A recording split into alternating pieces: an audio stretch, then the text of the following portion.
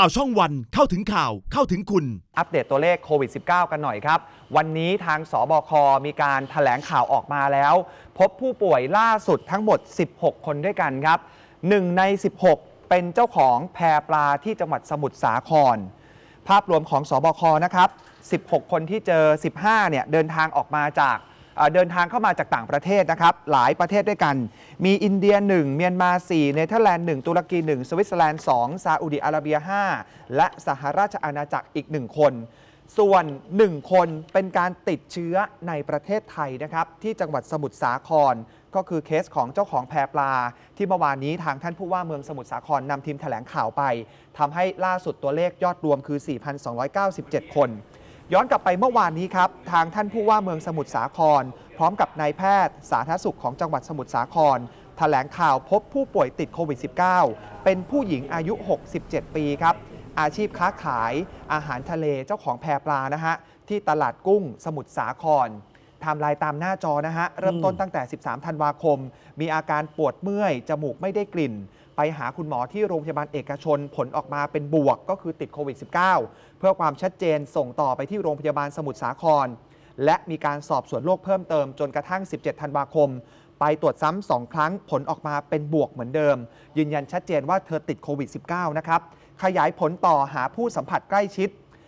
ผู้ที่มีความเสี่ยงติดเชื้อสูงสุดมีทั้งหมด 18 คน ส่วนใหญ่ก็จะเป็นสมาชิกในครอบครัว ผลออกมาเป็นลบ 16 คนตามหน้าจอนะฮะคุณผู้ชมครับ 10 คนผลออกมาเป็นลบนะฮะรอผล 6 คนแล้วก็รอติดตามอีก 2 คน ส่วนลูกจ้าง 2 คนซึ่งเป็นชาวพม่า อยู่ระหว่างการติดตามตัว ไม่แน่ใจว่าจะติดมาจากลูกจ้างหรือเปล่าอืมเนื่องจากว่าสัญชาติเมียนมาด้วยครับเดี๋ยวขยายผลต่อแน่นอน วันนี้ครับทางจังหวัดขอความร่วมมือปิดแพปลา 1 วันนะฮะหยุดให้บริการที่ตลาดกุ้ง ส่วนแพปลาของคนที่ติดโควิด -19 รายล่าสุด จะครับหยุดไปทั้งหมด 3 วัน เพื่อที่จะทำความสะอาดนะครับ เจ้าหน้าที่เอารถน้ำมาฉีดล้างบริเวณตลาดดังกล่าวเรียบร้อยแล้ว ส่วนทางเจ้าของแพปลาก็ยืนยันชัดเจนกับเจ้าหน้าที่ว่า ไม่ได้เดินทางไปต่างประเทศอืมก็เป็นอีกหนึ่งเหตุผลที่สนับสนุนว่า ติดเชื้อภายในประเทศเนี่ยติดมาจากใคร อืม ติดมาจากที่ไหนนะฮะ ครับ เมื่อเช้าที่ผ่านมาเองทีมปฏิบัติการควบคุมโรคของจังหวัดสมุทรสาครก็นำห้องตรวจปลอดเชื้อเคลื่อนที่ ลงพื้นที่ไปคัดกรองคนที่อาจจะรู้สึกว่าตัวเองเสี่ยง ครับ กลัวว่าจะติดโควิด -19 ก็มารับบริการ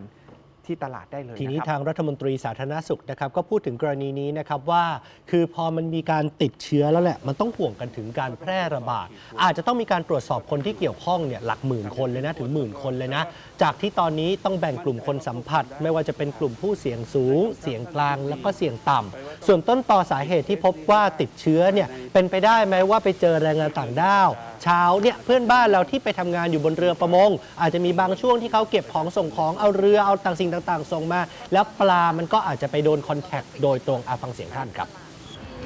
ก็คือตอนนี้ขยายผลแล้วก็ รู้สึกว่าเขาก็จะได้ทั้งวงผู้ป่วยและไม่ใช่ทั้งวงผู้สัมผัสสูงสัมผัสกลางสัมผัสต่ำอะแต่อาจจะต้องเช็คเยอะ เช็คเป็นหมื่นคนมันรอดมันรอดมาได้ยังไงอะคะมันไม่ใช่รอดแล้วครับมันผมว่าข้อสันนิษฐานเขาก็คือสัมผัสกับแรงงานต่างชาติที่ที่ทำงานทำประมงอะอืมซึ่งทางคุณอนุทินก็มั่นใจนะครับว่าคุมอยู่ครับคุมอยู่แล้วเดี๋ยวต้องปิดเคสนี้ให้ได้ภายในหนึ่งสัปดาห์ เพื่อไม่ให้พี่น้องประชาชนจะกังวลจะหยุดปีใหม่แล้วไงเดี๋ยวปีใหม่แบบกังวลมันจะไม่สนุกนะ วันสองวันนี้เดี๋ยวรัฐมนตรีจะลงพื้นที่แหละครับครับผม ไม่ประมาทกาดอย่าตกนะฮะ ต้องย้ำนะ เราจะไปงานไหนจะไปเฉลิมฉลองอะไรก็ตามแต่ใส่หน้ากากเว้นระยะแล้วก็หมั่นล้างมือด้วยนะฮะ สวัสดีครับ ผมจัดทีมะ อย่าลืมกดไลค์ กดแชร์ กด subscribe YouTube ข่าวช่องวัน จะได้ไม่พลาดทันข่าวทันทุกเหตุการณ์ เปิดเผยทุกความจริง